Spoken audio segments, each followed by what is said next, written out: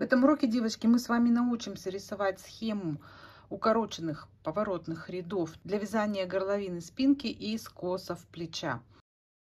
А, когда нарисуешь схему, становится сразу же все понятно. То есть в калькуляторе вы посмотрели, сколько разворотных точек в каких местах вам нужно сделать, а здесь садитесь вот так вот и рисуйте.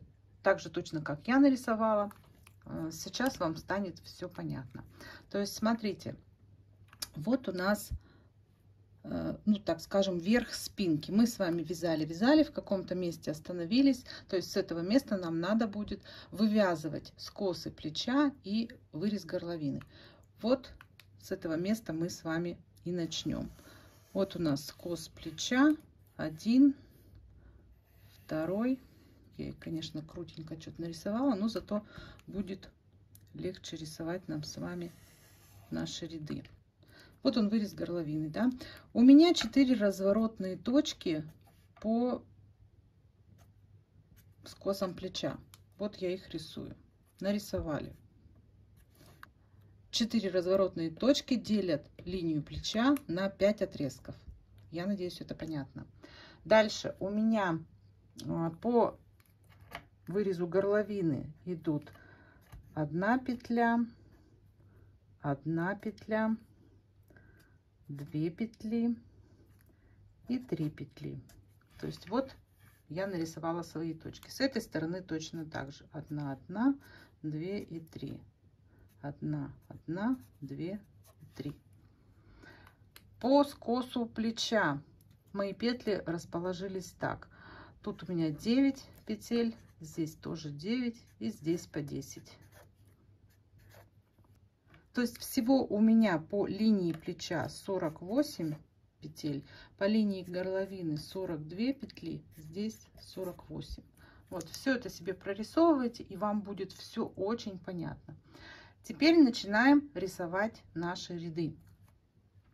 Вот в этой точке мы находимся. То есть в лицевом ряду нам с вами нужно начать вывязывать скос плеча и вырез горловины. Что я делаю? Вот мы начинаем вязать этот первый ряд. Я вяжу и останавливаюсь вот в этой точке. Ряд рисую кривой, потому что здесь так нарисовала. В принципе, они у меня начинаются на одном уровне, и э, скос плеча надо вывязывать, и вырез горловины. То есть, что я в этом ряду делаю? Я прохожу всю линию плеча. Здесь я ставлю маркеры для того, чтобы мне видеть, где у меня петли горловины, а где петли плеча. Провязываю все петли до маркера. Затем провязываю вот эти петли 1, 1, 2 и 3. То есть это получается 7 петель. А, здесь можно в этой же петле развернуться, можно в следующей. Провязываю эти 7 петель и возвращаюсь. Возвращаюсь я вот сюда вот в эту точку. Здесь я не довязала вот эти 9 петель до края изделия. Разворачиваю работу. Здесь мы формируем в этих точках разворотные петли, то есть это немецкие петли, я вам покажу, как они провязываются, и начинаю вязать снова лицевой ряд. Прошла после маркера, то есть все петли вот эти вот отсюда линии плеча прохожу, прохожу маркер, прохожу вот эту петлю, вот эту петлю, вот эти две петли и снова разворачиваюсь. Вяжу в обратную сторону, вот до этой точки. То есть от э, предыдущей точки разворота я снова не довязываю 9 петель. Разворачиваю работу, формирую поворотную петлю, вяжу вот сюда. Снова разворачиваюсь, вяжу вот сюда. Разворачиваюсь, вот сюда вяжу. Повернулась вот сюда и в эту точку в начало. На спицах у нас вот эти петли разворотные, они такие двойные получаются. Поэтому нам с вами желательно их закрыть. Из этой точки, там где стоит маркер, я поворачиваюсь и провязываю все петли до края. И потом поворачиваюсь, иду уже на другую сторону. прохожу все вот эти точки. То есть, когда я шла в эту сторону, я закрывала вот эти разворотные петли. Ну, как раз закрывала? Это не то, что закрытие петель, когда мы заканчиваем работу, а нужно их просто правильно провязать, чтобы они у нас э, выглядели красиво. Прошла вот эти в этом ряду, закрыла вот эти петли и пришла вот сюда. То есть на вторую сторону нашего изделия все вот эти петли у нас висят на спице. Дальше. Отсюда я иду вот в эту точку. То есть точно так же провязываю все петли плеча. После маркера провязываю вот эти петельки. И вот в этой точке делаю разворотную петлю и вяжу обратно. Здесь я не довязываю свои первые 9 петель. Снова разворачиваюсь, вяжу вот сюда.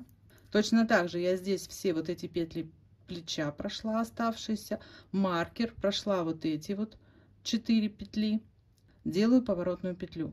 Дальше иду в эту сторону, здесь 9 петель не довязала. Дальше вот в эту сторону, прошла вот эти две петли, повернулась. Иду сюда, тут у меня 10 петель не довязано. Сюда, одну петлю прошла после маркера, разворачиваюсь и вот сюда. Здесь 10 не довязала. Дальше иду к маркеру, закрываю все вот эти петельки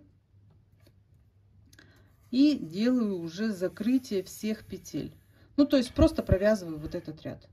Вот таким образом у нас с вами сформируется вот такая красивая линия плечевых скосов и горловины. Дальше в уроках мы с вами разберем, что с этими петлями делать. А в следующем уроке я вам покажу, как провязываются вот эти поворотные петли. И вы все поймете.